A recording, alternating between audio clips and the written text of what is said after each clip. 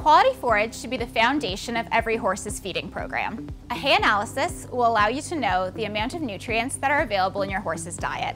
This is important because different horses have different requirements, which will depend on their age, size, exercise level, and even their health concerns.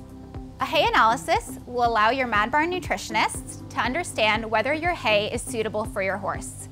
It will also allow them to optimally balance your horse's diet depending on the nutrients that they may be missing from their hay. The first step to getting a hay analysis is obtaining a representative sample. This can be done either using a forage probe like this one or just a regular pair of scissors.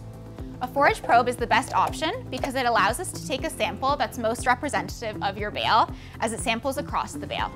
To test with a hay probe, you'll want to come to the end of your square bale and place it in the center between the two different strings on your bale.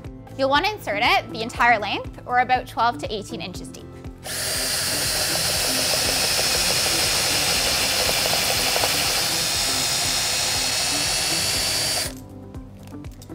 Once you've done that, all the hay will collect within the probe itself, and you can then push it into the bucket and it'll be available for collection.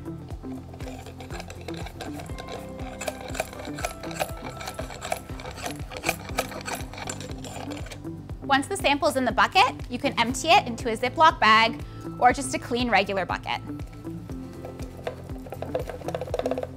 For any bales that you sample, you'll want to put the samples into the same bag. We recommend sampling at least 10 to 20 different bales to get a sample that's most representative of what your horse is eating on a daily basis.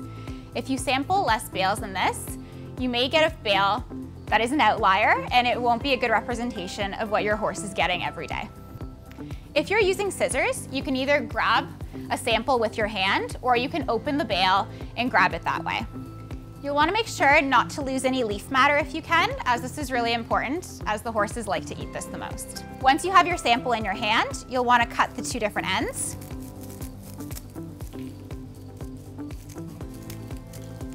And you'll be left with a sample that's about two to three inches in length.